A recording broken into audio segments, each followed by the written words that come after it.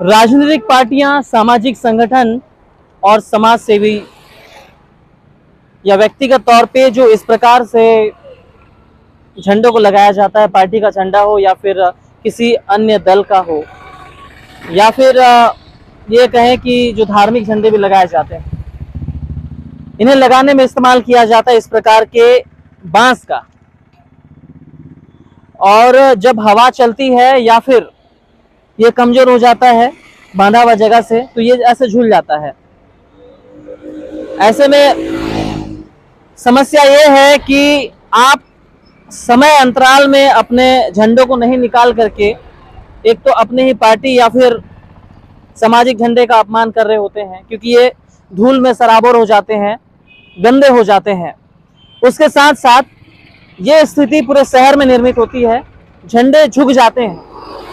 और ये यहाँ से गुजर रहे ऑटो या बाइक या स्कूटी चालक के शरीर में लग सकते हैं, घुस सकते हैं और बड़ा हादसा हो सकता है।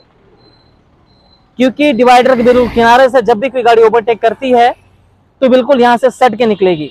और ये कम से कम जो है, दो फीट से अधिक बाहर निकला हुआ है डिवाइडर से।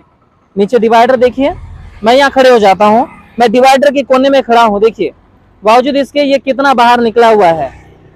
ऐसे में अगर कोई व्यक्ति इधर से जा रहा हो या फिर दूसरे साइड से इधर से आ रहा हो तो आप ये समझ सकती हैं, ये बाँस, ये जो बाँस है, ये क्या हाल करेगा?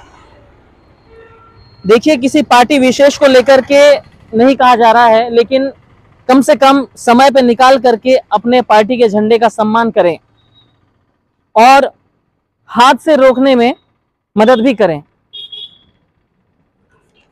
महज एक दिन के स्वागत के लिए जिस भी प्रकार के धार्मिक या फिर सामाजिक झंडे लगाए जाते हैं, उन्हें समय होने पे निकाल लेना, उतार लेना समझदारी हो सकती है।